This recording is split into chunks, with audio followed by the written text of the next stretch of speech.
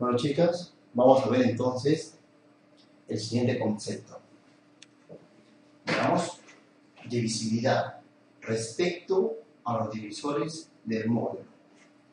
Quiero que el alumno tenga presente la siguiente expresión, muy importante.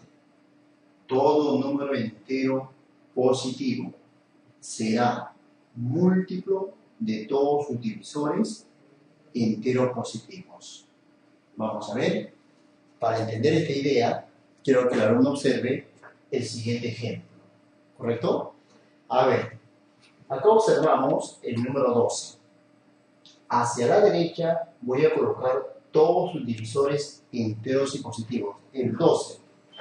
A ver, primer divisor, el 12 lo puedo dividir entre 1. El 12 se divide entre 1, sale exacto, primer divisor. Segundo divisor, el 12 también lo podemos dividir entre cuánto? Entre 2. 2 entre 2, exacto. Segundo divisor. El 12 lo podemos dividir entre 3, tercer divisor. A ver, el 12 también se puede dividir entre 4. Cuarto divisor, entero y positivo. El 12 lo podemos dividir entre 6. Al dividir entre 6 sale exacto. ¿Correcto? Quinto divisor. Y el 12 también se puede dividir entre sí mismo.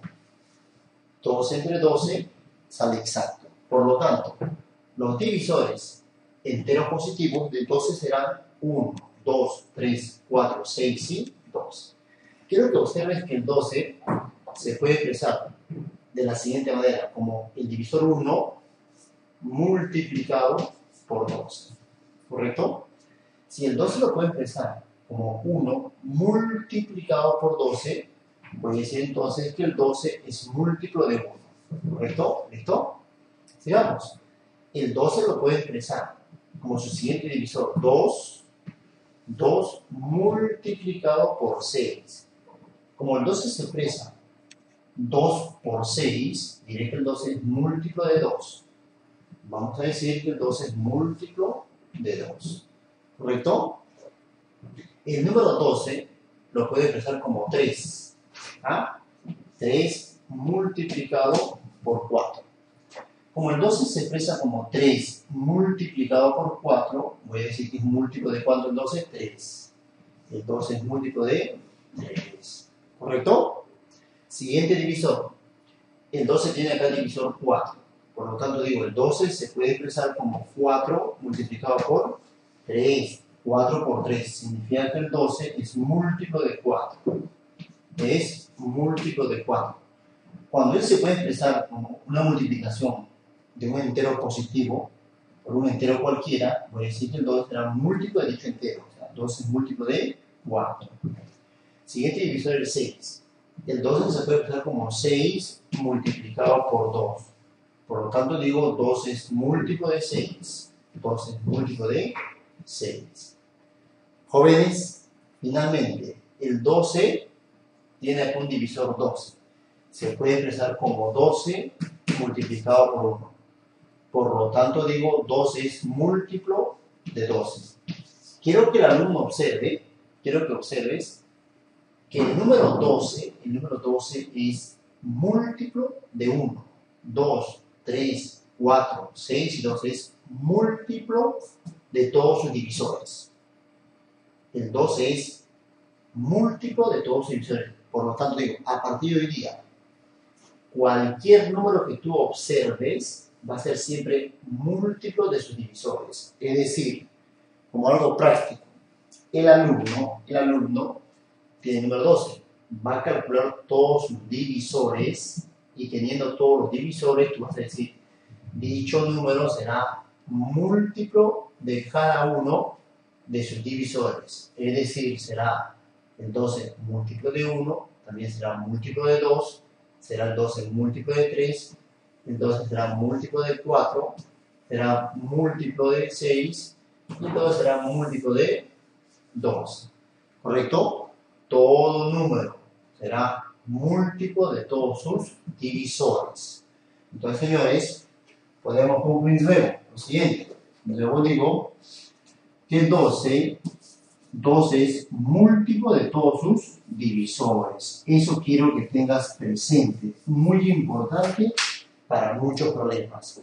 Vamos a ver entonces a continuación un problema relacionado con esta expresión, ¿correcto? Listo, señores, vamos a una aplicación tipo examen de admisión, ¿correcto? Entonces lo vamos a analizar con mucho cuidado. Vamos a ver. Me dicen lo siguiente, si el numeral D5 en base n es igual a 25, calcule la suma de valores que puede tomar n. La suma de valores que puede tomar n. Me dan sus respectivas claves. Clave A, 20. Clave B, 30. Clave C, 40. Clave D, 5. Y la clave E, 8. Vamos a resolver un problema muy interesante tipo examen de admisión. ¿Listo chicos? Quiero que observen lo siguiente. Veamos. El D5 en base n lo voy a colocar de esta manera. El D5 en base n igual a 25. Tengo que calcular los valores que puede tomar n. ¿Qué valores posibles puede tomar n acá? Vamos a calcular entonces jóvenes con bastante cuidado. ¿Correcto?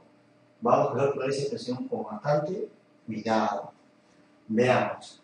Primeramente, quiero que el alumno tenga presente, quiero que tenga presente que en este numeral que tú observas, debemos primero tener en cuenta lo siguiente. En un numeral, siempre la base, la base es mayor que las cifras. Es decir, el n debe ser mayor que 5 y el n debe ser mayor que d. ¿Correcto? voy a colocar n mayor que 5. Aparte coloco n mayor que 5. Esta expresión debo tenerlo presente. ¿Correcto? Listo. Jóvenes, aplicamos propiedad, visto anteriormente.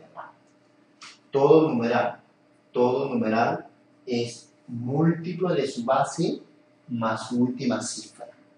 ¿Correcto? Vimos en la sesión anterior. Todo numeral es múltiplo de su base, en este caso múltiplo de n, más la última cifra, 5. Y este es igual a 25. Así es. Jovencitos, este 5 pasa al otro miembro a restar. Y vamos a obtener que múltiplo de n, múltiplo de n será igual. 25 menos 5 me queda acá 20 obtengo que el 20 es múltiplo de n. El 20 es múltiplo de n. Quiere decir que el n es un divisor de 20, ¿no? El n es divisor de 20, ¿correcto? Por la expresión anterior. El n será un divisor de 20. Entonces debo calcular todos los divisores de 20. Porque recuerda el 20 es múltiplo de todos sus divisores. El 20 es múltiplo de todos sus divisores. Yo digo el 50 es múltiplo de todos sus divisores. El 80 es múltiplo de todos sus divisores. Lo hicimos en el ejemplo anterior. El 12 es múltiplo de todos sus divisores. En forma análoga, el 20 es múltiplo de todos sus divisores. Y vamos a ver quiénes son los divisores de 20. Veamos acá. Acá tenemos el 20 y vamos a calcular, los divisores de 20. Así es. Jóvenes, quiero que me ayudes entonces a calcular acá los divisores de 20. Acá tenemos entonces todos los divisores de 20. A ver, primer divisor, 20 entre 1. Se puede dividir, es exacto. 20 entre 2, también se puede dividir, sin divisor. ¿Correcto? 20 entre 4, 20 entre 4, exacto. 20 entre 5, siguiente divisor, se puede dividir. Siguiente, 20 entre 10. El último divisor entre el mismo, 20 entre 20. Jóvenes, estos son todos los divisores de 20. Pero me están diciendo, señores, la siguiente condición, que los divisores de 20, el n debe ser mayor que 5. El n es divisor de 20 este es el valor de n. Estos son valores de n. Los valores de n mayor que 5. Y los mayores que 5 te puedes dar cuenta que son el de acá. 10 y 20. Por lo tanto, por lo tanto, el n toma qué valor es? Toma el valor de 10 y el n toma también el valor de 20. Así es. Jóvenes, porque yo puedo decir 20 es múltiplo de 1, 20 es múltiplo de 2, 20 es múltiplo de 4, 20 es múltiplo de 5, 20 es múltiplo de 10 y 20 es múltiplo de 20. Pero recuerda que los divisores de n deben ser mayores que 5. Y los mayores que 5 son 10 y 20. 10 y 20. Jóvenes, suma de valores. Entonces la respuesta será, la respuesta será suma de valores. 10 más 10 más 20. Es decir, el alumno tiene 30. Esto viene a ser la suma de valores de n. n toma exactamente entonces dos valores. Y la suma viene a ser 30. Me voy a la clave y rápidamente voy a buscar y marcar mi clave B.